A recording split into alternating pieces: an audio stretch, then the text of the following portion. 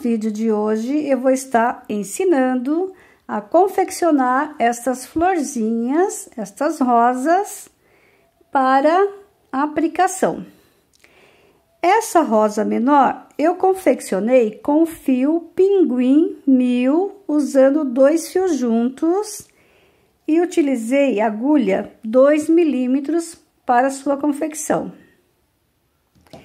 Essa rosa maior eu utilizei o fio Supremo Floral. O tex deste fio é 590.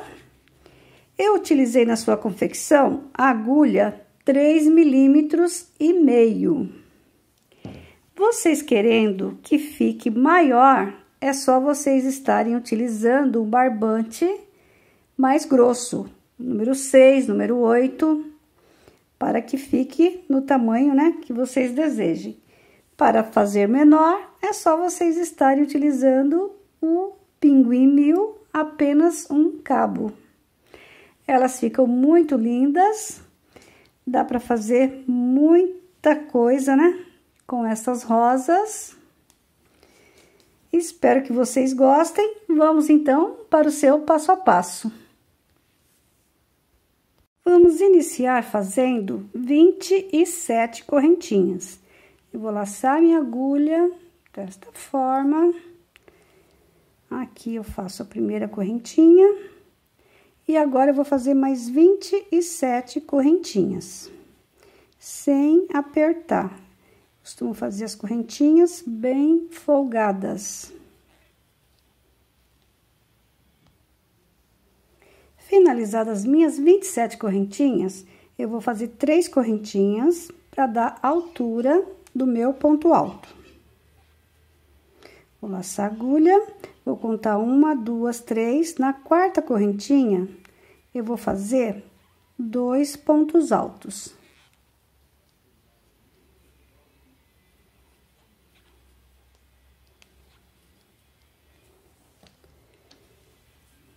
Vou fazer uma correntinha de intervalo, vou laçar agulha, vou pular uma correntinha de base, vou na próxima correntinha e vou fazer três pontos altos.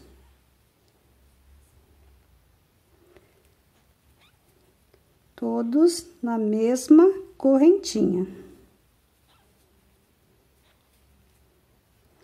Feito isso, eu faço uma correntinha de intervalo, laço agulha, pulo uma correntinha de base, vou na próxima e vou repetir três pontos altos na mesma correntinha.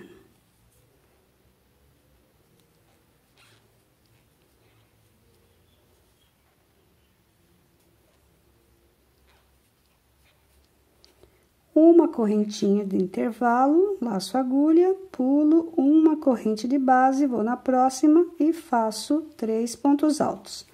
Então, vou repetir desta forma até o final aqui das correntinhas. Finalizei minha carreira fazendo na última correntinha o grupo de três pontos altos e fiquei com um total de 14 grupinhos de pontos altos. Vou virar o meu trabalho, vou fazer três correntinhas para dar altura do meu ponto alto. Vou fazer aqui nesse mesmo espaço um ponto alto. No ponto alto do meio, eu vou fazer dois pontos altos. No próximo ponto alto, eu faço apenas um ponto alto. Faço duas correntinhas de intervalo, pego aqui nesse espaço de correntinha e faço um ponto baixo. Duas correntinhas de intervalo, laço agulha, vou aqui no próximo ponto e faço um ponto alto. Laço agulha, vou aqui no ponto alto do meio e faço dois pontos altos. Laça agulha, vai no último ponto alto aqui do grupinho e faz um ponto alto. Duas correntinhas de intervalo, pego aqui no espaço do meio, aqui no espaço de correntinha, e faço um ponto baixo. Duas correntinhas, laço agulha, vou aqui no próximo ponto alto e faço um ponto alto. No ponto alto do meio, nós vamos fazer sempre dois pontos altos. Então, nesse ponto agora seguinte, eu faço dois pontos altos no próximo ponto, um ponto alto. Vamos trabalhar desta forma até o final da carreira. No espaço de correntinha, sempre um ponto baixo. Vai ficando desta forma o meu trabalho. Trabalhei até o final da minha carreira e ficou desta forma o meu trabalho. Aqui no final, eu vou fazer mais um ponto alto na terceira correntinha. Já fiz um ponto alto, né? Já tenho aqui é, quatro pontos altos. Vou laçar a agulha, vou fazer mais um ponto alto aqui no final. Vou virar meu trabalho, vou fazer uma correntinha, pegando nas duas alcinhas do ponto, eu vou fazer um ponto baixíssimo. Faço uma correntinha, Vou aqui no próximo ponto, pegando as duas alcinhas e faço um ponto baixíssimo. Uma correntinha, vou no próximo ponto, um ponto baixíssimo. Uma correntinha, vou no próximo ponto e faço um ponto baixíssimo.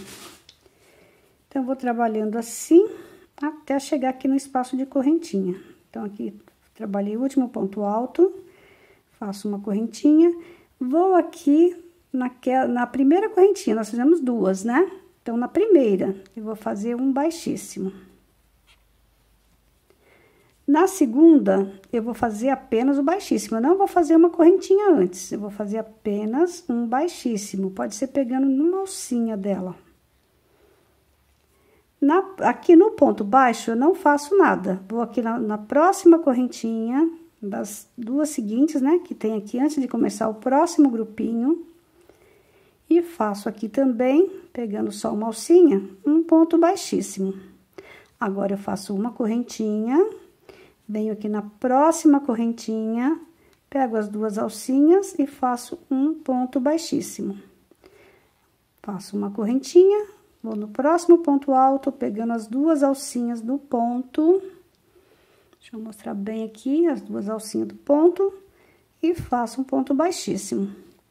Vamos trabalhar desta forma até o final. Vou fazer mais um pouquinho aqui com vocês, até chegar no espaço de correntinhas novamente. Então, aqui eu trabalhei no meu último ponto alto. Agora, eu faço uma correntinha e na primeira correntinha aqui, das duas que fizemos, eu pego assim, olha, duas alcinhas dela faço um baixíssimo. Na correntinha seguinte, eu pego só uma alcinha e faço só o baixíssimo. Vejam que eu não fiz o, a correntinha antes. Agora, também não faço correntinha, já pego, pulo o ponto baixo, vou aqui na correntinha seguinte e faço um baixíssimo. A partir daqui, eu começo a fazer novamente uma correntinha, pego as duas alcinhas e faço um ponto baixíssimo uma correntinha, pego no ponto alto e faço um ponto baixíssimo. E assim nós vamos trabalhar até o final. Vamos finalizar fazendo um ponto baixíssimo e cortando um fio bem comprido para a gente estar costurando a nossa flor. Então, eu corto bem compridinho. Esse fiozinho aqui, eu já arremato ele. Pego uma agulha mais fina, já dou uma arrematada nele. Para que ele não fique atrapalhando na hora que a gente for enrolar a flor. Só esconder ele aqui entre os pontos.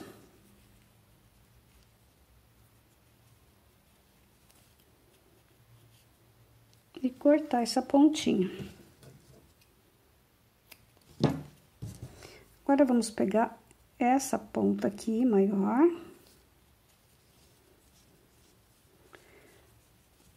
Olha, eu trabalhei a carreira desta forma aqui. Vou pegar aqui a ponta e vou enrolar dessa forma. Enrolar e vou pegar aqui, bem aqui próximo ao espaço de correntinha, e vou dar um pontinho. Pra ficar aqui o miolinho da, da rosa. Dou um pontinho aqui. Dois. Agora, eu venho com esse fio dando os pontinhos aqui na parte de baixo.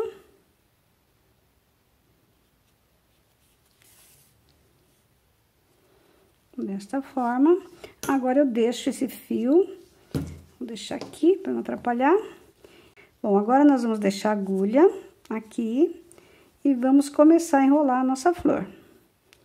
Vamos enrolar de uma forma que a correntinha aqui do início não fique uma em cima da outra. Vai ficar uma acima da outra. Olha, dessa forma aqui, ó.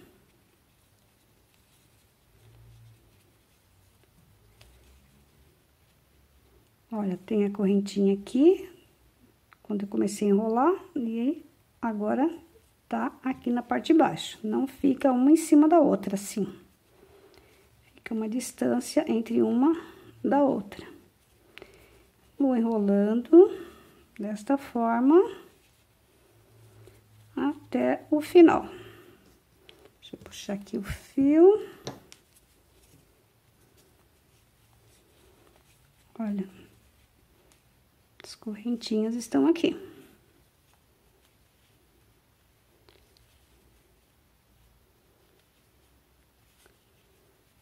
Cheguei aqui ao final. Aqui, vocês querendo, pode estar tá colocando um alfinete para ficar firme aqui, né? Para poder costurar. Agora, é só começar a costurar aqui. Nós vamos pegar aqui, vamos pegar, a agulha vai lá embaixo e depois sai aqui no outro furinho, ó.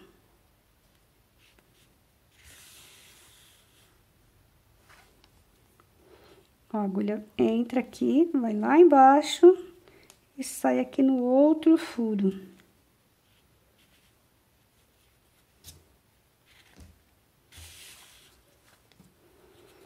Vamos pegar novamente aqui. A agulha vai lá embaixo e pega, sai mais pra frente, ó.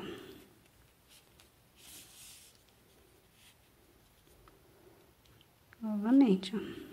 Pego aqui e saio lá na frente. Vamos dar duas voltas para ficar bem firme. Então, vou fazer novamente, ó, pegando da mesma forma. Aqui já pode tirar, né, alfinete.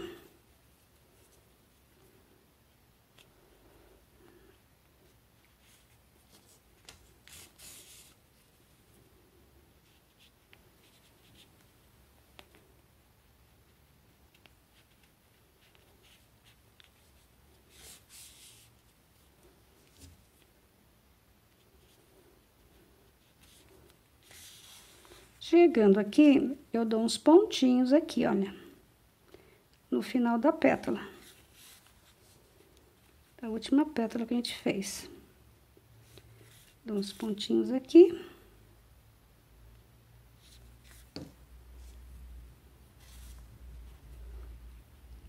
Volto com esse fio aqui entre os pontos.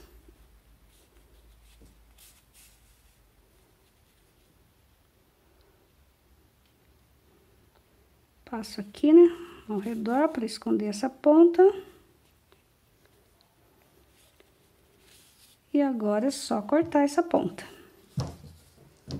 Ou, né, se vocês forem aplicar em alguma peça, já deixa aqui, né, pra fazer a aplicação na onde vocês, na peça que vocês vão fazer. Olha, fica bem firme aqui, olha, o miolinho. Agora é só dar uma ajeitadinha aqui nas pétalas.